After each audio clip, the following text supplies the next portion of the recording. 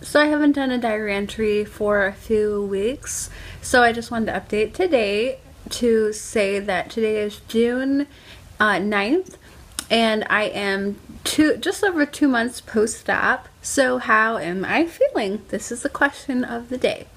So for right now, I feel okay. My teeth are starting to ache between the front two, my front two real teeth because I think that they're starting to come together. And the fake tooth is just getting um, less able to move and different things like that. So um, that's a positive thing for me, but at the same time, I feel like I'm just ready for the next thing, even though I have a long, long while. So, um, but once the my surgeon gives the okay that my teeth can start to be brought together, um, it should look a whole lot better on the front of my mouth, and my smile should be a lot better. And what's funny is I just met with one of my really good friends from growing up and they were like, "Oh, you don't look any different." And I just really think that I do.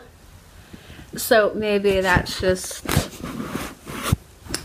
I don't know, maybe it's in my head. I don't know. Maybe it's just cuz I see myself every day and feel like I had noticed a huge difference in my face all through um, my palate. So anyway, uh, so here's my smile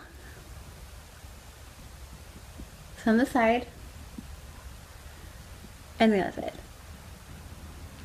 I don't think it looks too bad.